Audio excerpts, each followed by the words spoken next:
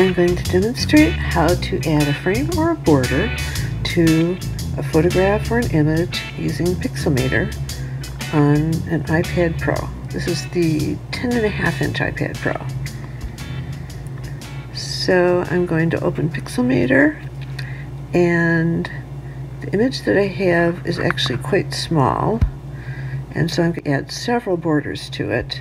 So actually I'm going to first go and look at my image and using this app called ViewExif, which you see down at the bottom here, I'm going to look at the size of my image and then I'm going to create something that's a little bit bigger in order to put the borders on it.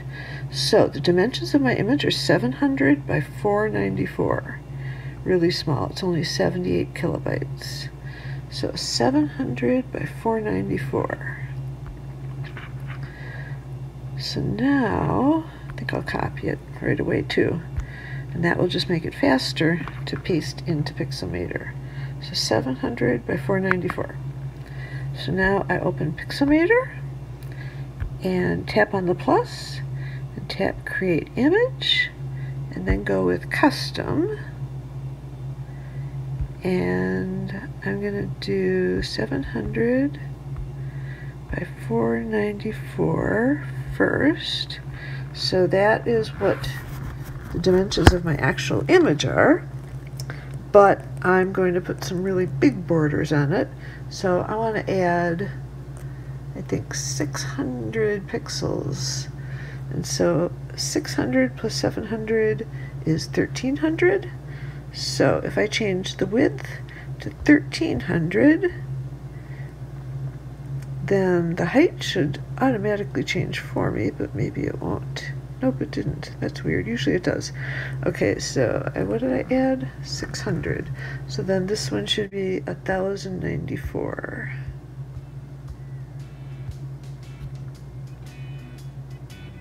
Does that look right? Well, we will find out. Okay, so then I tap on the word create.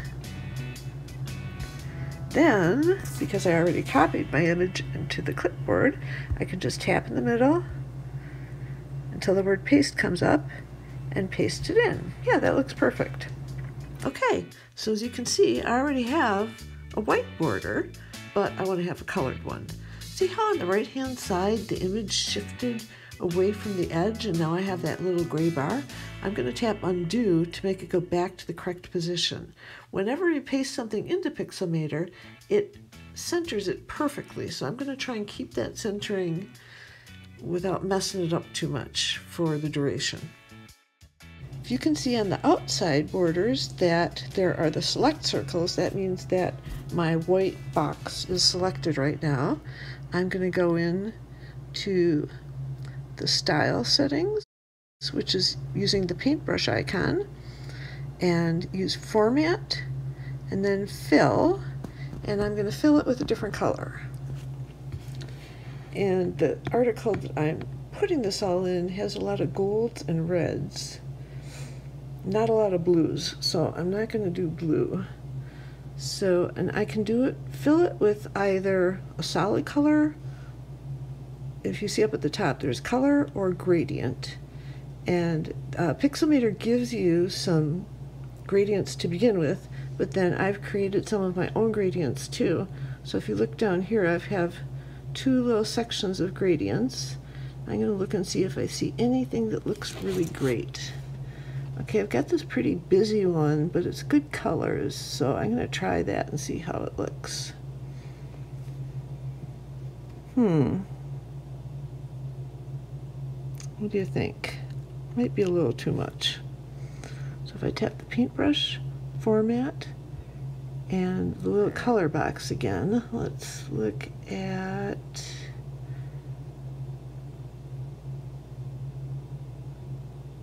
this one. That's not bad. I think I don't like the way it's oriented. So if I tap format again and then I tap arrange, whoops, format. And arrange is already selected. And then I do rotate and I turn it around. I think I like that better, but I think I'm going to play with a little bit. So if I go back to style, tap on the color box, I'm going to just try and add a little bit more um, to the gradients. So if you can see right now, there's four colors in this gradient. And I think maybe I will try and add, we'll put a box there. So if you just tap, it will add another box. And then I have to pick a color for that box. see if I could even put gold in, how that would look. Yeah, that looks really, really muddy. Let's try blue. That looks kind of nice. So then I go back. I actually like that. And I just need to adjust the dimensions a little bit. I think that there should be one more red one in there. So I'm going to tap right in the middle and then tap that box again to get the colors back up. Drag this over to the reds. Okay, that's looking pretty cool.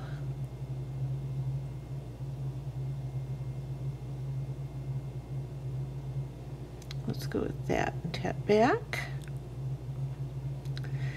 And then tap little caret. And actually, so let's just see if we like the proportions. I think that's pretty good. Okay, so we're going to go with that. So this middle image, what I like to do is make it look like it's floating a little bit.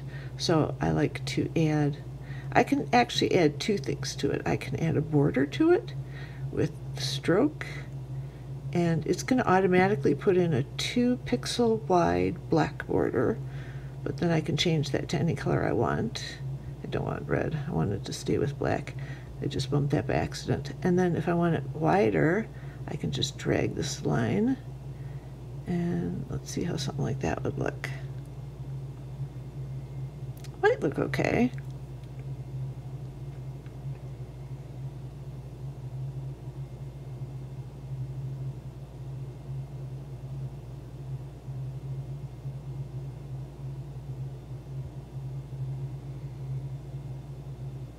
Yeah, we'll see. Okay, so I'm going to add my shadow. I tap Format again, then I tap on Shadow, and then I drag Offset to the right, and I don't know if you can see, but that's adding a shadow on the bottom, and then I drag Angle to the right, and then that moves the shadow over to the right, and the way I like to do it is to have the shadow kind of 50-50 on the right and on the bottom, but it's way too dark. So then I use this blur and I usually drag it pretty much all the way to the end to get it to kind of blend in so that it doesn't look like really garish. And then it just kind of makes the image pop out a little bit more. So I think that looks pretty good. I think that this should also have a black border around it. So I select it, tap Format, tap stroke and it will put the two pixel black one in and then I can drag it and make it wider. I actually think it should be even wider than that and that's as wide as it goes. The way that I could make it even wider is to add using the plus sign and then far on the right you see shapes. If I add this empty box it puts it right in the middle I'm gonna, so I can find it more easily, I'm gonna make it wider. And it doesn't, I'm not really seeing it getting wider. So that tells me that it is probably down underneath this image. It's because everything is layered. So if I tap arrange, this very top line shows you the order of the layers. I can also tap over here and you can see that my blank box is below the watches. And if I want it above the watches, I can do it two ways. I can either use this slider and just drag it there, or I could, over in this left-hand corner, I can drag the boxes too.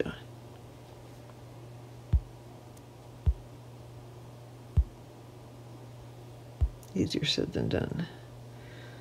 Okay, so then I drag this out to the edges.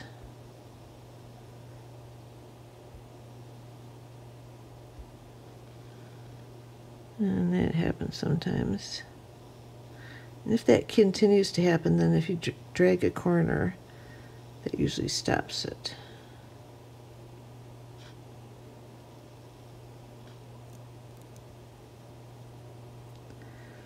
And I'm going to make that as wide as I can make it.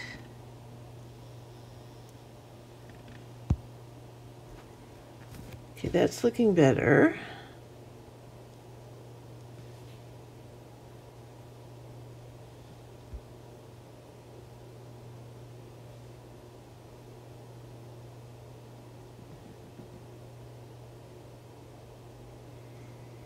So that looks pretty even.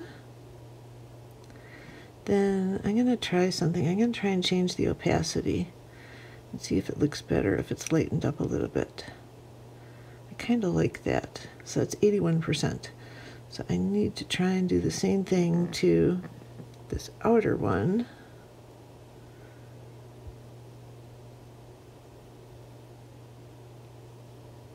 Whoa, if I go to 81% there, it kind of like disappears. So, looks like about 96 now. Yeah, that's going to be maybe hard to get them to have equal opacities.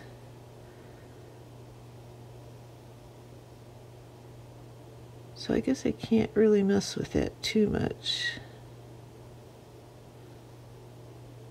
The other thing you can do with it is under blending, you can try all these different blending modes. Uh, with what I'm doing, it's probably not going to be really useful, but sometimes the blending modes can really give you some cool effects for things. But just like I suspected, there's not really a whole lot here that is going to help that so that's not going to really help so I'm just going to move it back to normal.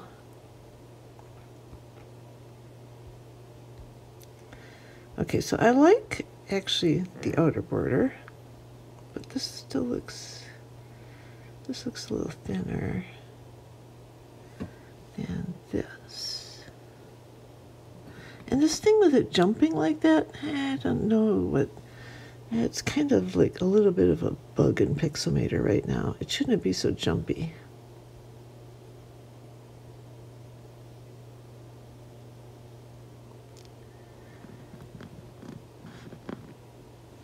Now this left one needs to be in a little bit.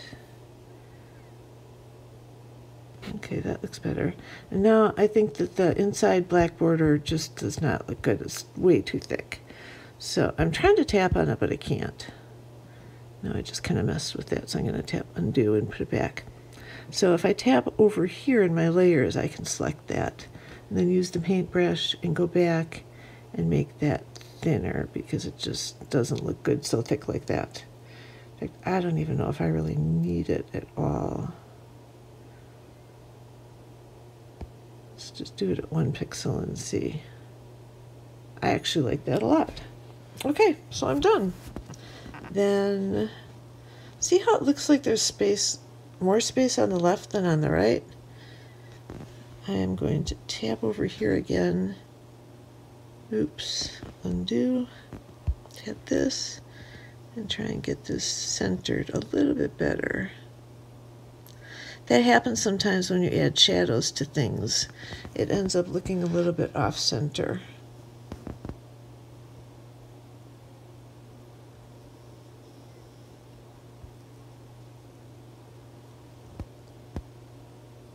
that looks good.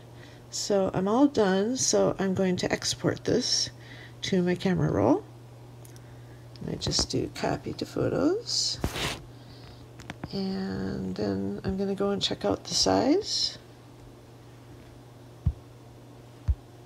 Here it is.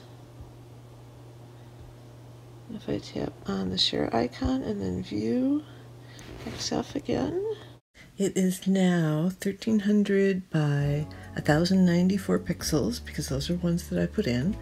Um, the file size is better, it's 126 kilobytes, and it's all done. So that is a really quick and dirty demonstration of how to add a border or frame in Pixelmator.